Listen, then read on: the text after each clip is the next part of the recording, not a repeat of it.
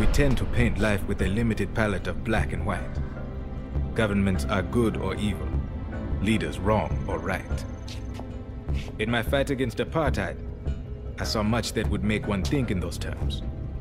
But missions like ours to the North Atlantic, where we face evil, certainly in a man like General, prove to me most things are not so simple.